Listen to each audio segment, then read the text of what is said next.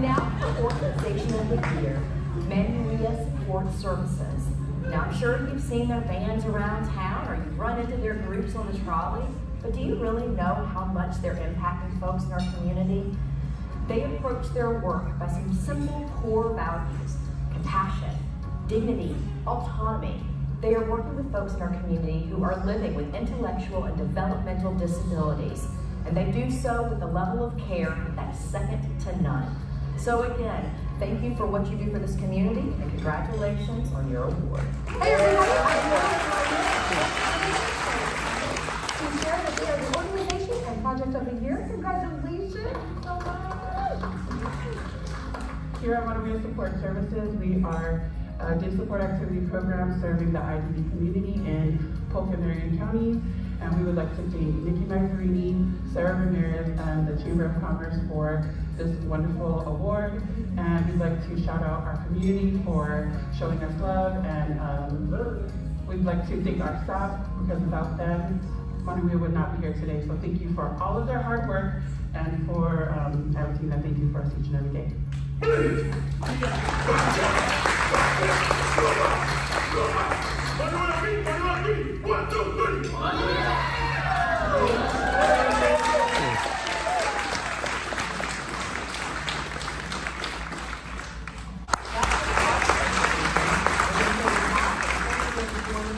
Congratulations to our winners.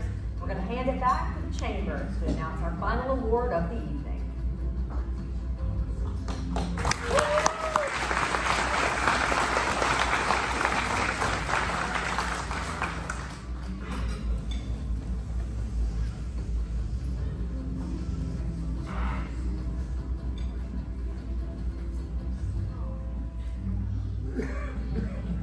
Drum roll, please.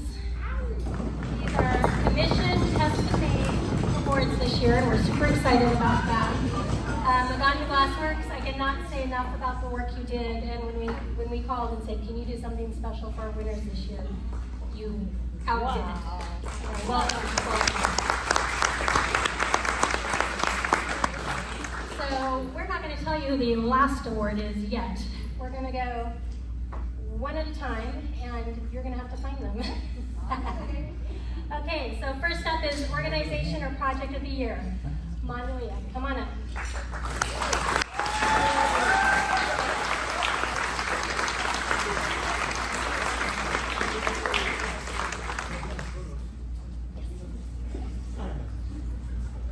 Come on, team. You guys come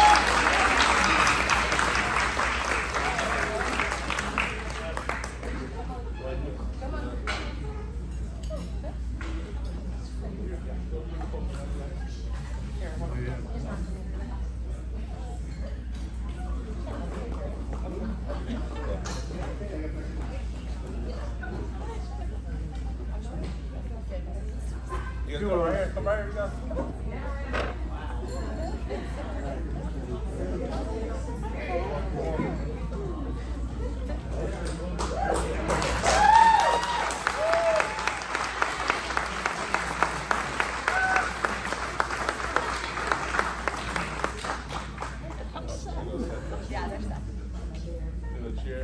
All right, one more. Here we go. One, two, three. One, two, three.